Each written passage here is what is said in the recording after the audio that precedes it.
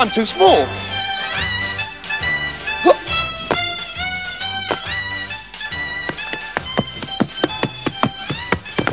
Ah, that's better.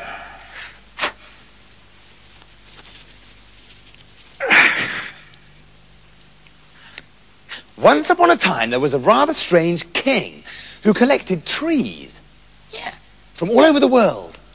He loved his trees, but he loved one tree more than all the others, because it was a chocolate tree. He really loved his chocolate tree. He used to rush out into the garden first thing in the morning and stand next to it and say, oh, I love you, chocolate tree. I really love you. And he loved it so much that he proclaimed a new law.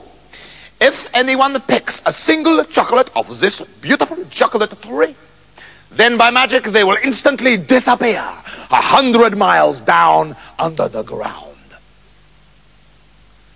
However, the king also had three daughters who really loved chocolates. Oh, we really love chocolates, don't we, girls? Yes, we do. I mean, it's terrible our rotten old dad won't let us have any chocks off the chocolate tree. I mean, for heaven's sake, what is the point of having a chocolate tree if you can't just go out and scoff the lot? And after six mouth-watering months of looking out of the window of the palace and going, oh, God, it's just not fair. I mean, look at the size of those chocks. Youngest daughter couldn't stand it anymore and said, look, girls, our dad loves us far too much to magic us a hundred miles under the ground. Let's rush into the garden and stuff ourselves stupid with great big yummo chalks.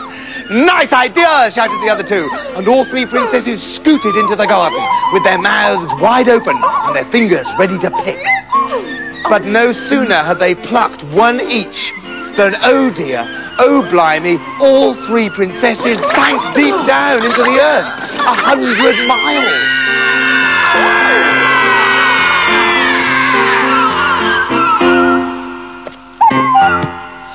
At midday, the king called his daughters to lunch. But they were nowhere to be found. No one had seen them.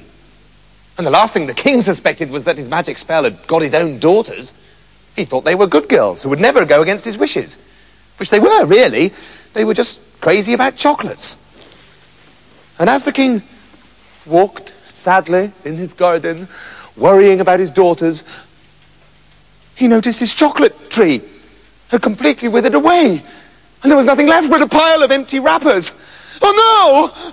My beautiful, beloved chalky tree! howled the king. Oh! And he summoned his royal magician. Magician, why won't the chocolate tree grow anymore? Uh, well, said the magician, like, does anyone know what day it is, man? Concentrate, said the king. What's the matter with my tree? Oh, wow! Oh, wow! This is like a bad omen, man. Like, your chocolate tree is not going to grow, like, until your daughters come back, man. I mean, king.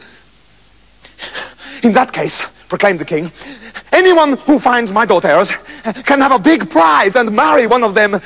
And somebody, please clean up these chocolate wrappers. I don't want to be reminded of my poor lost tree. So, all the young men in the kingdom who weren't busy went searching for the king's daughters because of their great beauty and kind hearts. And three of the king's gardeners decided to search for the girls as well.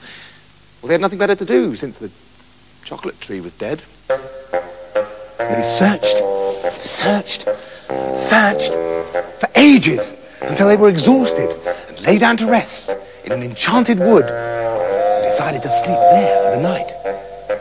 The two eldest found themselves some comfortable moss to lie on, and as there was no moss left for the youngest, they made him sleep on a pile of thistles because they didn't like him much and made fun of him behind his back and called him stupid.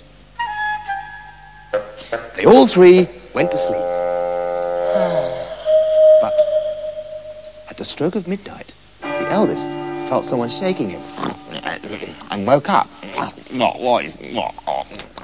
and saw a little gnome beside him.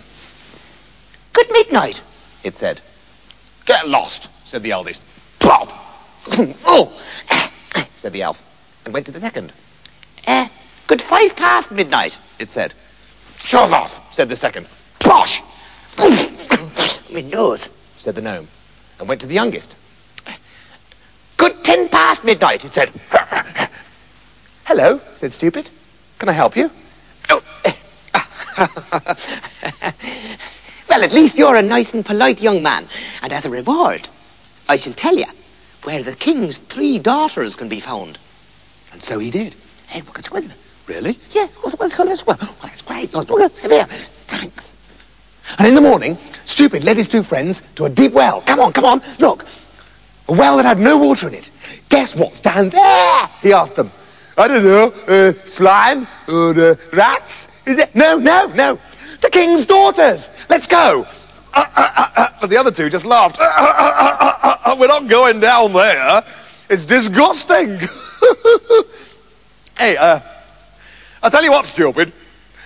You go down and, and we'll stay up here in the nice sunshine to, to, to, to pull you up again when you're finished. I mean, it's a, it's a dirty job, but someone's got to do it. hey, thanks, guys, said Stupid. And down he went into the dark, slimy well, which was horrid and full of poisonous spiders and giant rats and, and, and, creepy, crawly things which were so disgusting, I don't even know what they were called.